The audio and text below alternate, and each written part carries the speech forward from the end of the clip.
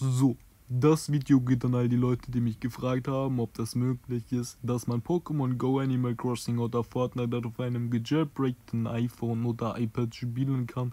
Und um diese Frage zu beantworten, ist es relativ einfach und ihr müsst nicht wirklich viel tun.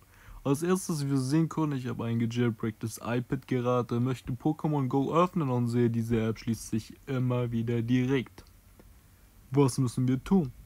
Als erstes, was ihr tun müsst, ist auf den Link unten in der Beschreibung drauf zu klicken und ihr kommt genau exakt zu dieser Seite. Diese Datei ladet ihr euch einmal herunter, geht auf Download und ja. Was ihr als nächstes machen müsst, ihr geht in Cydia einmal hinein und sucht als erstes nach dem Pfizer File Manager.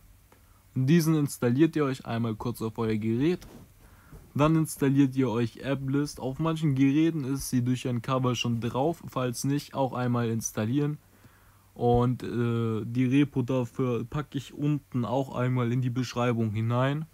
Und was ihr dann noch benötigt, ist Rocket Bootstrap. Rocket Bootstrap ist ebenfalls da unten in der Repo drin. Ich packe euch alles unten in die Beschreibung.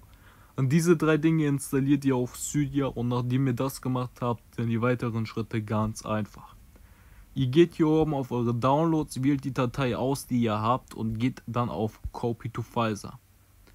Und wenn ihr das gemacht habt, seht ihr die Dateien in euren Dokumenten. Ihr geht auf die Datei drauf und seht oben in der Ecke einen Install-Button. Auf diesen Button geht ihr einmal drauf, das installiert durch Flight Jailbreak. Das äh, umgeht sozusagen die Jailbreak Detection. Als nächstes geht ihr in eure Settings. Ihr seht vielleicht Jailbreak direkt an der Seite, wo eure ganzen Tweaks aktiviert sind. Und aktiviert die Flight Jailbreak Activation, geht unten auf Bypass List und wählt Pokémon Go aus. Darunter steht die Liste optimieren, Optimize List, wählt ihr auch Pokémon Go aus. Dann ganz wichtig, ihr müsst hier unten diesen Button auch aktivieren, das ist der Kernel Bypass. Da wählt ihr ebenfalls Pokémon Go in eurer Liste aus und geht danach auf WeNote einmal auf Bestätigen gehen und mehr müsst ihr nicht machen.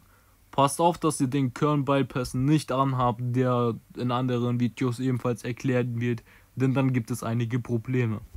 Was ihr jetzt machen könnt, ist ganz einfach, ihr öffnet Pokémon Go und ihr werdet sehen, bam, voila, es funktioniert. Es geht auch mit anderen Apps, es ist alles ganz easy. Und damit ist das Video auch schon abgeschlossen.